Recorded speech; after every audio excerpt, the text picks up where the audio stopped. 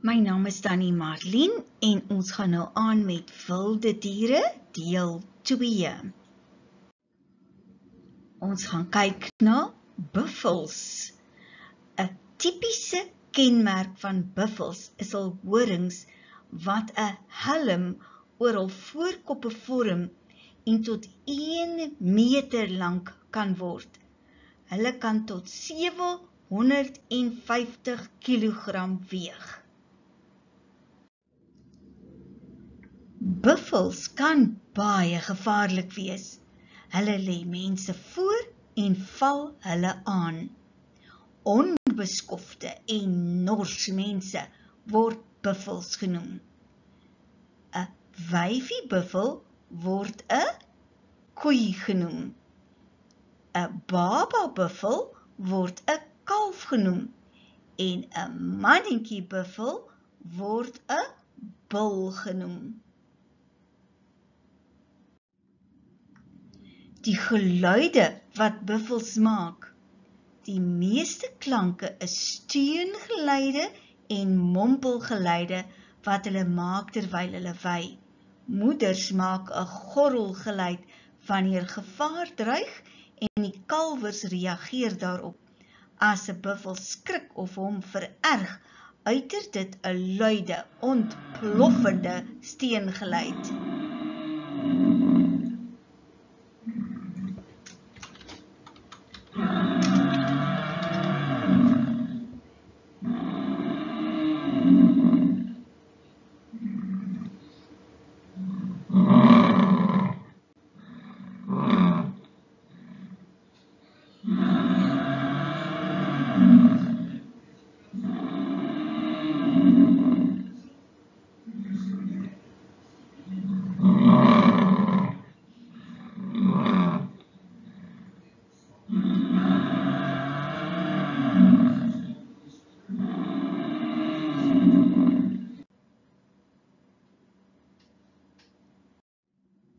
Kom ons lees 'n gediggie oor 'n buffel. Buffel in die bad. Daar's 'n buffel in die badkamer. Daar's 'n buffel in die bad. Genadetjie, kom help tog. Hy spat my pap sop nat. Glo my tog, ek sê mos, maak kan regtig self kom kyk. Die ding het klaar geskyn bad daar klim hy nou uit. Gee pad jou simpel buffel. O, ek gaan jou vermorsel. Jy kan dit mos nie doen nie. Dis my pa se tandeborsel. Niemand wil my glo nie. Die buffel bees bestaan. Kyk, daar trek hy wraggies my ma se nagrok aan. Hy gorrel van ons gorrelgoed. En spoel sy mond o vet met 'n lekker groot sluk water net so uit die toilet. Nou sy in my kamer. Daar's 'n buffel in my bed. Nou ja tog lekker slaap. Maar skuif net op. Jy's veelste vet.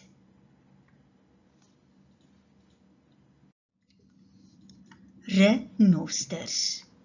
Renosters is groot diere wat in Afrika se grasvelde en berghange voorkom. Die swart renoster en wit renoster se bekke verskil maar albei het twee neeshorings en baie dik velle. Renosters word vir hierdie horings gejag. Daarom is daar min renosters oor. Renosters het nie voortande wat gebruik word om plantmateriaal mee af te byt nie, maar hulle gebruik eerder hul lippe om kos mee te pluk. 'n renoster word genoem 'n koei, 'n bul en 'n kalf. Koei, bul, kalf. Renosters maak verskeie soorte geluide. Grom, blaas, bulk, skree, snork, trompettergeluide en ook nuusgeluide. Cristo.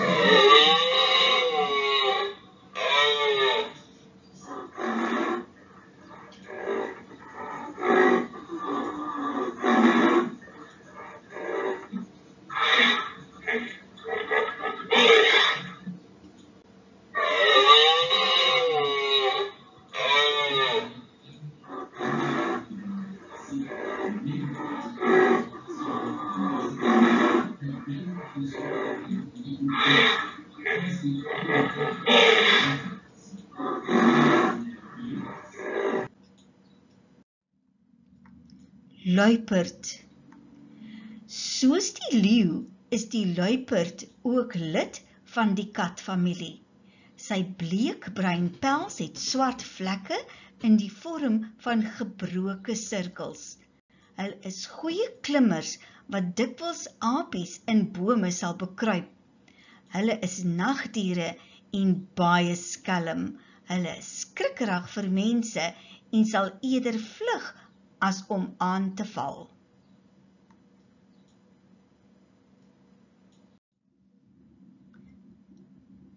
Mannetjie, wyfie en 'n welpie. 'n Mannetjie, wyfie en 'n welpie. Wow.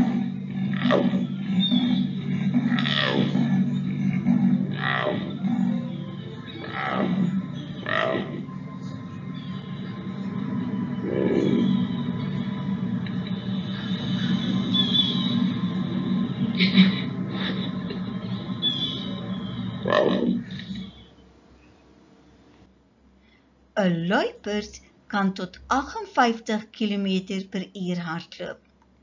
Hulle kan tot 6 meter hoog spring. Luiperds maak 'n geluid soos hout wat gesaag word.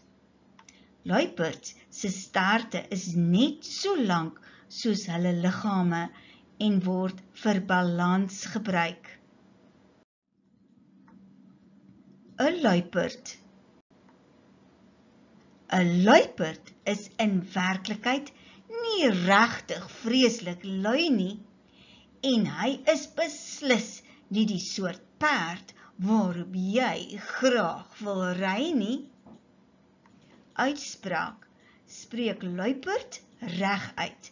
Spreek dit so uit: luiperd, nie lui perd nie te vinnig. Jagluiperd hardloop die stof so staan. Sy dink die veld is 'n resiesbaan. Oppas mevrou met jou vinnige voete. As die verkeersman jou sien, kry jy 'n boete. Die kameelperd Hulle het lang nekke en hul voorpote is langer as hulle agterpote met die gevolg dat hul rug afdraand loop. Kameelperde het ook 'n lomp manier van galop omdat die voorpote hoër is en die nek die gewig moet balanseer. Wanneer hulle gras vreet op watersyp, staan hulle wydsbeen en buig die lang nek af om onderby te kom. Kameelperde is die langste van al die diere. 'n Volwasse dier kan tot 5 meter lank word. Hulle verdedig hulself met hul voorhoewe en leeu's sal slegs 'n kameelperd aanval wat van die res van die trop afgesonder is. 'n kameelperd se kop is klein in verhouding tot die res van sy liggaam. Die twee horingagtige uitsteeksels tussen die gepunte ore is met vel en hare bedek Met hul groot oë kan hulle baie goed sien en kan hulle byna elke kleur uitken. Kom ons lees 'n gediggie oor die kameelperd. Almal sien ek oor die kop. Het kameelperd swaar gesig. En almal stap ek ook verby met neus hoog in die lug. Tog is ek nie hoogmoedig nie, maar nederig en skaam. Ek laat my bure ook met rus. Soos dit 'n mens betaam. My kos soek ek nooit nie daaronder op die grond. Want hier wy ek met lange nek op die hoogste takke rond.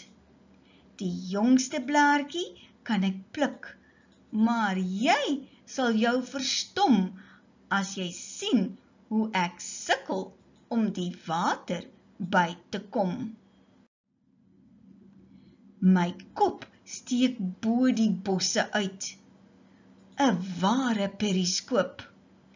Ek sien waar al die diere wy en waar ou jakkals loop. Ek sien waar skuil ou leeu. Ek weet ook goed waarom. Maar niemand kan ek waarsku nie.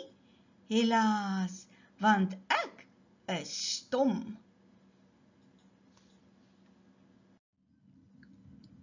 Kan jy?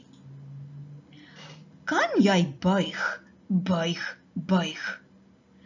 Kan jy buig soos kameelperd doen? Kan jy strek, strek, strek? Oog, oog, oog. Soos kameelperd doen. Kan jy jou tone raak? Tone raak? Tone raak? Soos kameelperd doen.